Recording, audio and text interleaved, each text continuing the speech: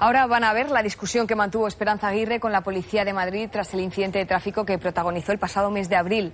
Espejo Público ha tenido acceso en exclusiva a las imágenes de lo que ocurrió justo después cuando llegó a su domicilio. Se personaron hasta ocho agentes para pedir explicaciones.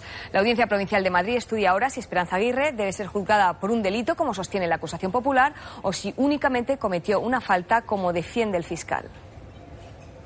Esperanza Aguirre está al volante de este coche blanco. Son las 4.22 de la tarde y acaba de llegar a su casa, pero tiene compañía. Le siguen los agentes de movilidad. Llegan más policías. La expresidenta entra en su domicilio y pide que le preparen la documentación del coche. A los pocos minutos vuelve a salir y uno de los agentes se dirige a ella. Aguirre, a quien vemos gesticular constantemente, se explica. El agente insiste y siguen llegando policías. Ella se mete otra vez en su casa y coge los papeles del coche, esta carpeta que la entrega a un policía y que éste rechaza.